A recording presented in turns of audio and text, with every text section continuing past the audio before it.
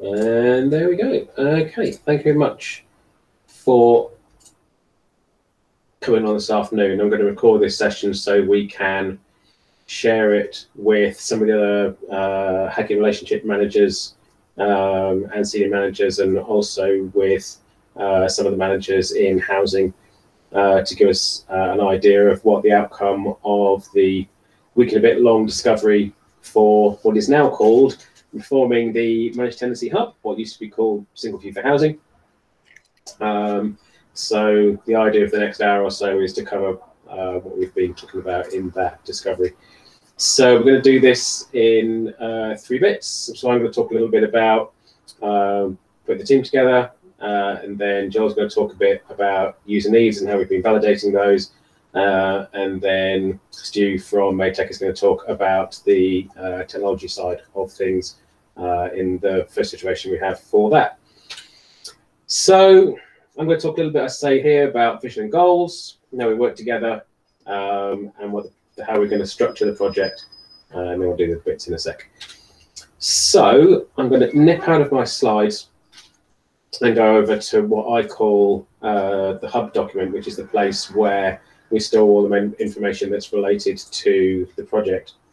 Uh, and briefly, our project vision is to expand on the excellent single view service created for the Benefits and Housing Needs team, to enable it to be used as a replacement for the current hub uh, in managed tenancy service, uh, to allow users to have better experience because they'll get access to a lot more information, which gives them a much more holistic view of people that they'll be working with um, in our Western tenant estates. Um, and also we're going to build a reusable work tray component which allows partly Hackney to move away from OutSystems, which will give us a substantial cost saving, but also we're bearing in mind that that work tray can then be potentially reused by um, other services uh, when we come to build more products and move away from more of existing legacy systems. Um, one of the parts of the project vision is making sure that we, at every opportunity, work with our user group, which is a subset of the housing officers and area housing managers, to make sure we get lots of feedback and iterate while we are developing the new services. So in terms of the project goals, um, first part is to enable housing officers and area housing managers to access single view uh, via Google Authenticator. We had a really good meeting yesterday in which it was agreed that uh, housing officers and housing managers will be able to do that right away that there's no limitation on what data they can access. So we're setting them up to be able to access single view as it stands today. We're hoping to get that done as soon as Lorraine's finished signing off the paperwork with Nick, which should be just a few days. Um, uh, add the information related to tenancies uh, into single view so people can uh, see it in there.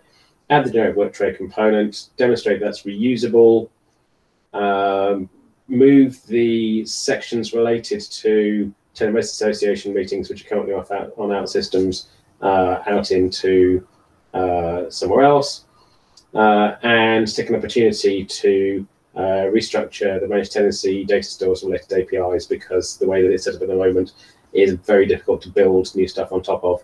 Uh, so we're going to take an opportunity to do a bit of refactoring while we're going along. So those are the, the vision and the goals. Uh, we've got a discovery output document, which uh, everybody's very welcome to go through. We've got lots of information saying about uh, data access, user stories that Joe's going to touch on, and technology, which Steve's going to go through. There's a big bit in red in the middle here, which is uh, project governance, because I haven't written the um, business case parts for the API development yet. So I has done the updates for single view, which is great, but I need to finish that off, and I'll be doing that tomorrow. So that was a very rapid run through of what's happening in terms of the overall vision and goals for the project. Um, what about the team? So obviously, because of the pandemic, we're all a remote team. We're having our standard uh, agile ceremonies. Uh, we've got first planning tomorrow. Uh, Stu's done an excellent job of putting things together in the backlog, along with Jill supplying the user she's going to talk about uh, in a little while. Um, and we had a really good uh, sort of pre-planning backlog grooming session today that's given us a really good view of what we think is going to be in the first sprint. Uh, so we're in the process of putting all these ceremonies together. We're going to have a mid-sprint review partway through to make sure that we're on track um, and uh, all the standard stuff. We have a Slack channel, obviously. Uh, we're having a constant voice meeting. So that's going to sit there that people can optionally join if they want to during the day. So it's like you're sitting next to somebody. Uh, and we're trying that out on Discord because we think it's a little less um, processor intensive than, than running Google Meet. So we'll let you know how that goes. Obviously, got a backlog in Jira. And because there's a lot of folks who are not only new to this project, but also new to each other, um, I've put some completely optional no work discussion end of day chats that people can come along to just so we can get to know each other a little bit. Uh, just because you know there's there's more to life than work, and uh, uh, I think that'd just be nice to to get to know the people on the team a bit. Um, governance. Um, so three overall pieces of work: the improvements to single view, uh, the creating of work tray, and improving uh, managed tenancy. Two contracts, one STA uh, to deliver the single view extensions and the work tray, and the extension to the existing platform API contract to deliver the improvements to the managed tenancy data stores and API. But there is one team that's delivering all of this work. So we got one team doing all the work, two contracts, three pieces of work, obviously partridge in a pear tree uh, at the top. Um, so that's how we are structuring the uh, governance. Uh, I have rattled through that fairly quickly to give us more time to talk about um, uh, user needs technical plans. So in terms of user needs, uh, combination of business goals, uh, user needs from the um, uh, users, obviously, uh, and technical constraints. Uh, and then it's over to Jill to walk okay. us through what we do. So the managed tenancy service has been going for a couple of years now, and during that time, we've been collecting feedback about the service from the people who use it, which are the housing officers and area housing managers. And with our old system, it was not always possible or even easy to update the service. But now we've got an opportunity to include some changes based on the feedback where we can, where we can incorporate those changes into the work that we're doing, which is primarily to get um, managed tenancy hub off of OutSystems.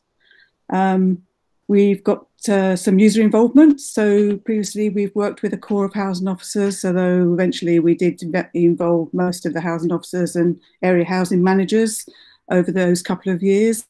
Um, but this time we're, we're focusing with a user group, which is, which is a mix of uh, four housing officers and four area housing managers, which Lorraine, who's the product owner's, owner, helped put that together for us.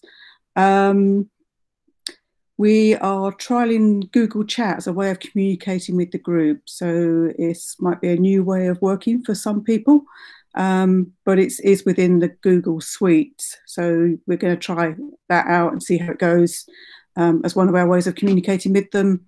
Um, and it saved us introducing a completely new product such as Slack for them. So we've, keep, we've kept them within Google. So hopefully that might have some longer term benefits for them as well. user stories, which is the next slide, David, thank you. Um, so our user stories, uh, we initially drafted them, the product owner, Lorraine, myself and David, I think it was. Um, we might have had a, um, a developer in there at, at, the same time, I think. Um, uh, so we made, we made some uh, initial user stories, and that was kind of based on the current service and the feedback that we'd had about the service. Um, we then took that to a recently to a user group session where we went through those user stories and validated them with the users, updated them, and added some stories. I think we had a couple of new ones. So that was all really good. Um, so the user stories take the standard um, format of as a, for example, a housing officer or area housing managers, I want to have a work tray that stores all of the items that I need to work on so that my work has structure so there's a link there to the list, but, I, um, but I'll just cover at a high level what's in that list. So the user stories in that list are to do with the work tray component, so viewing and interacting with and managing work items such as processes and actions. Um, starting viewing, interacting, and managing work items, those work items. Uh, being able to search for a resident and view the resident's details. So this is where we'll be integrating it with the single view tool so that housing officers and their managers have a can have a greater picture of a, a resident. Uh, there's also some areas for the area housing managers so they can see an overview of their the work being done in their teams and manage that work. Um, we've also got an element of the ETRA process, that's Enhanced Tenants and Residents Association uh, process, which is when housing officers go out to TRA meetings and um, gather up some actions from that meeting that the council needs to do on estates. Uh, so we need to be able to find the TRA, they need to be able to manage their, their actions that arise from the ETRA meetings. Um, those are the bits that are in Outsystems, and we then we need to integrate that with the ETRA meeting, which we previously developed in React. Uh, next slide, I think, David. So um, mapped out some of the current user journeys, um, sort of highlighting where we need to um, integrate uh, the Outsystems bits that we're replatforming with the existing React um, parts of the service that have already been replatformed. So that includes um, the kind of working with residents user journey within managed tenancy. So um, and also estate work user journeys within managed tenancy. So that's the uh, the ETRA bit essentially. Um, there's also an admin area for the area housing managers, which is much more straightforward, nor within OutSystems, as I said earlier. Which so that journey hasn't actually been mapped, but it's it's pretty straightforward. So we haven't mapped that one at that point. So I think that's it for me. Over to Stu.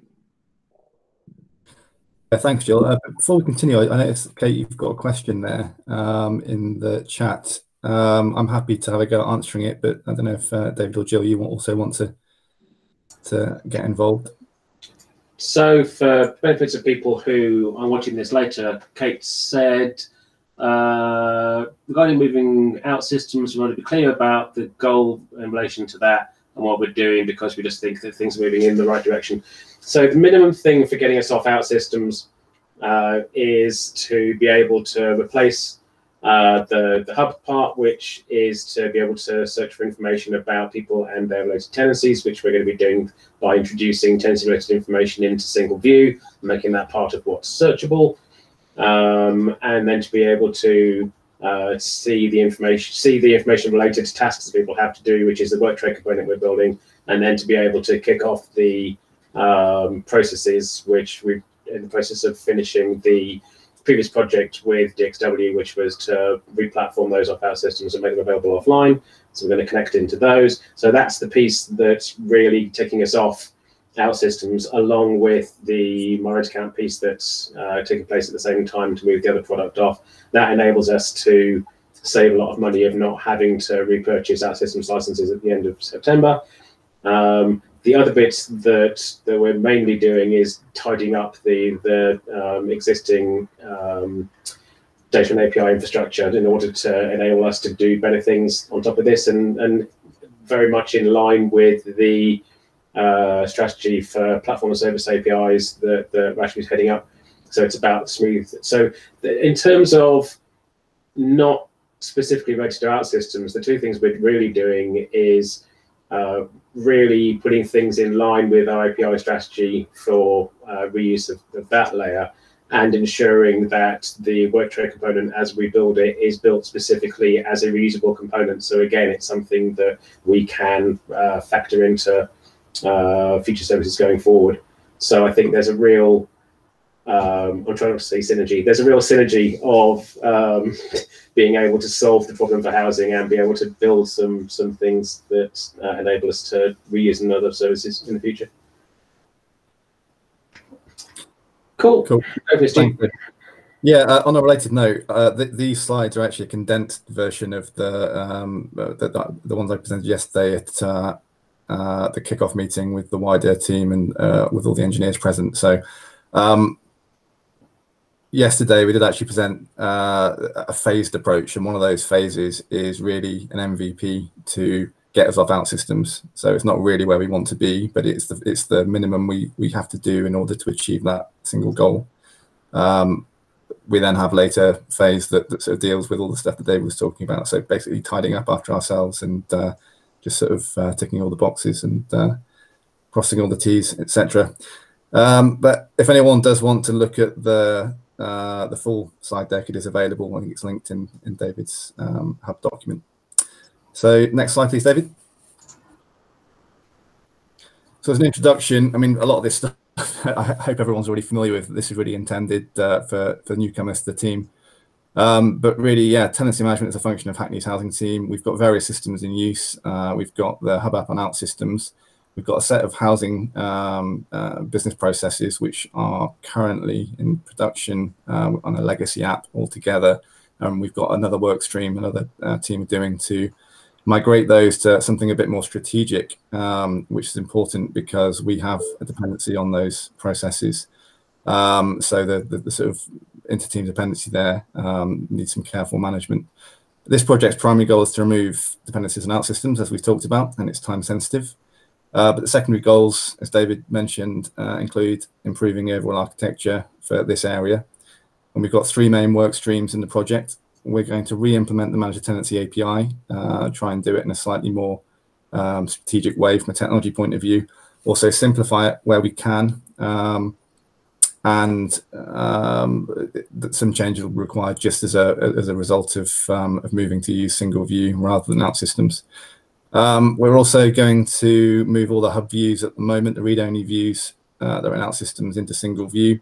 Some of those already exist, so things uh, to do with with sort of individuals uh, and some aspects of tenancies already exist in single view, so there's nothing to do there. But we will add additional views when necessary. And the work tray from OutSystems is going to be moved to a new dedicated work tray application that will sit alongside single view, but won't actually be part of it. Next slide, please, David. In terms of the plan changes to the, tenancy API, or Manage a Tenancy API, I should say, um, we're going to move uh, hub functionality to single view. So this is the read-only stuff. Um, very much the idea here being extending what's there already. So uh, where we have the quick view things, we'll add some some additional uh, pieces to reflect the new entities that are going to be um, necessary. So tenancies, properties, um, we also need to limit access to information based on user need. So we, I, I, think we're actually saying at the moment that all users will have identical access initially, but we still need to consider this and make sure we have a mechanism in place to uh, to restrict access uh, based on whatever criteria we, we decide. And uh, we're also going to re-implement the API, as I mentioned, uh, following best practices, uh, just simplify, improve, um, there's a big piece around data. So currently, a lot of the data that relates to this service is stored in Dynamics CRM, which probably isn't the best place for it. So there's a piece of work there to to move that, um, which probably comes into our sort of longer term or phase two approach rather than the MVP.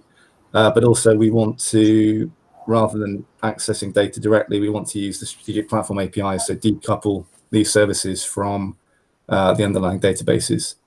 That again, best practice. Um, and we also need to remove the dedicated authentication. So currently every user of OutSystems has their own login, which is maintained by OutSystems, completely independent of uh, any of the other logins that people use. So we'll get rid of that. And uh, yeah, we standardize using the Google account model that we've started to use elsewhere. Next slide, please, David. Uh, for single view, plan changes are to, uh, like I say, add these new UI components. So uh, to do with tenants, tenancies, and properties. So there's some overlap with the tenants because uh, the existing views for uh, residents or, or, people already include some information about tenancies. So not a huge amount to do there, but uh, yeah, I'm sure there's a few tweaks we can do. and again, enabling access control. Um, so we're going to extend the scheme that's been used elsewhere. So authentication is just via the, the Google account that everyone is already using. Authorization uh, or access control will be via group membership. So, I mean, we haven't really got down to the details as yet, but uh, essentially we'll we'll create groups um, within Google to represent different teams or business areas, and then membership of those groups will determine whether or not you can see those related screens in single view. Next slide, please. We're also going to introduce this new uh, application, the Hackney Work Tray. So this will replace the current work tray functionality uh, within OutSystems, but it's going to be implemented in a in a way that makes it extensible. Uh, so in theory, if another uh, uh application or business area wants to to do something similar, they can uh, reuse this without too much difficulty. Um, as I say, it sits alongside the the core single view app. So this is this is a different piece of software, but it's very much complementary. So they will link backward and forward between each other. Uh, and we'll just have a, a list of, of, work items for a user, uh, and there'll be all sorts of uh, sort of generic operations, so managing uh, work items, so cancelling them, moving them around, reassigning them. But anything that involves actually doing something uh, meaningful or interaction um, will involve uh, linking back to the originating application. So this is just a generic way of, of, of managing people's work. It doesn't actually um, know anything about the, the, the items that are in that, that list all it's doing is uh, is presenting them. Uh, hence the opportunity for reuse. Uh, next slide, please, David. Additional tasks for the project. So alongside those three main tasks, we also have a couple of other things we need to tidy up. So um, there's the ETRA process that Jill mentioned that has already started to, to be migrated to uh, a, a, new technology stack. So we need to complete that because there's some dependencies on the OutSystems stuff. Um, so it's yeah, relatively small amount of work that needs to happen before OutSystems goes away. And then once we've um, moved all this stuff, we actually need to decommission OutSystems. So we need to work out what actually has to happen to turn this off and, and prevent the, the license from being renewed. Uh, and things like archiving code as well, if possible, so that we've got it as a reference. Um, next slide, please. Uh, and this is just a few words on the data strategy. So during discovery, we we, came, we we encountered a few areas where we think we can improve things. I think David, you touched on this right at the start. Um, at the moment, as I say, a lot of the managed tenancy specific data is is in Dynamics. It shouldn't really be there. It doesn't make sense for it to be there. There's already a database for Manage a Tenancy, which isn't really used for very much. So we will move all of that data into that database. So this is, to be clear, stuff that's only related to Manage a Tenancy. Anything else will be migrated to use platform APIs uh, as they become available. And we, we need to sort of influence the roadmap, I think, for the platform API team to make sure that the things that we need for this project are available in time. Uh, and in the interim period, we'll, we'll continue to, to use direct data access. Um, so yeah, if, if for whatever reason the platform APIs don't become available in that time frame, then we can still get off systems, albeit in a suboptimal way. And um, at the moment, a lot of the data that's in Dynamics that Managed Tenancy uses is isn't actually um, it, it's not actually uh, that isn't its primary uh, place of, of, residence. It's actually synced from other places, mostly from uh, I think UH. Uh, so that data is synced once a day, which means it's it's stale potentially. Um, and also, uh, we're, we're sort of inferring uh, additional information based on, on that data that's synced over, which isn't ideal. So fundamentally, what we want to do is ensure that rather than going to Dynamics to retrieve data, we just go to the, the system of record, whether that data is sourced, wherever it's updated. Uh, and that way we get the most current data whenever we're doing uh, I don't think there's anything more to say on that. Next slide, please. So there's a few slides here just looking at uh, architecture. So I tried to capture the current state and uh, the target state. Um, we won't delve too much into these, but like I say, if anyone wants to, to look in more detail, these diagrams plus some more are in the, the uh, separate slide deck. So this is just showing um, the three main areas of software. So we've got OutSystems, top left, We've got the various housing processes, top right, the, uh, the sort of legacy app at the moment that's that they're implemented in. Uh, and then we've got the Manage a Tenancy bit, which consists of uh, two separate APIs, um, one for, for the Manage a Tenancy hub and one for, for the processes. Uh, next slide, please, David. Just stop clicking the notes. You'll notice this is the target uh, state. The only things really that have changed here is that top left has changed from being OutSystems to instead being single view. Um, as a as a sort of broad area of um, of applications rather than being specifically to software. So we've got in there the single view um, UI as it is now. We've got this new work tray UI. Um, we've also migrated all of the housing processes to the new strategic tech stack. We've um, migrated away from direct data access for platform data and instead we're using platform APIs.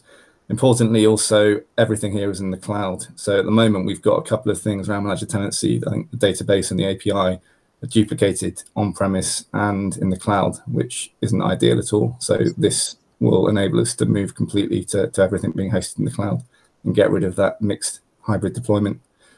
Um, next slide, please, David. And similarly, this is this and the next slide show the entity mapping for the current state and uh, the target state. So uh, it's not very easy to see what's on here, but basically it describes what I've just talked about. We've got a lot of stuff in Dynamics. Some of that stuff comes from or is synced from uh, UH.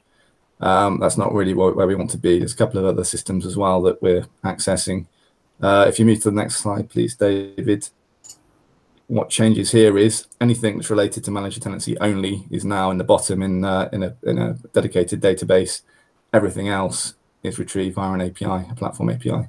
So there's no direct data access at all.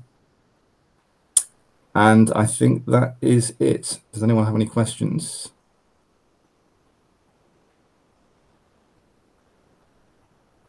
No. Excellent. Cool. Thank you very much indeed, Stu. So the one thing that uh, I thought of to add while Stu was going through all of that excellent stuff was that there's some interesting questions that have uh, come out of some of the discussions around things that we might not necessarily implement during this project, that we might carry on uh, taking forward. Uh, what a couple of things that we've been discussing today is um, how uh, generic or what's the overall uh, underlying user needs for, for work trays so we obviously want to make a reference implementation for uh, this project for housing to replace the OutSystems managed tenancy. But there's also some thinking about how we can make that reusable for other uh, parts of the organization without boiling the ocean, without bringing a lot of user needs right in the start. So that's an interesting conversation that, that we'll have. But there's also one that's going to address um, an ongoing conversation that's been happening for, for quite a long time, which is how we maintain our uh, data associations between members of staff and areas of the borough that they are responsible for. Uh, and at the moment, those kind of um, uh, changes need to be made by people going into uh, databases and hand changing them on behalf of uh, other parts of the organization, and they've been asking for a long time to have some kind of user interface to be able to do that themselves. Now, that's definitely not, definitely, definitely not something we're going to implement as part of this project, but it might be interesting to think whether it would be appropriate to design the way that we put our APIs together in a way that would enable us to go and do something like that in the future. So no decisions about that yet, but that's just a conversation that we've, we've been having that might be useful uh, in terms of again thinking about reuse for um, how we build more platform related things going forward.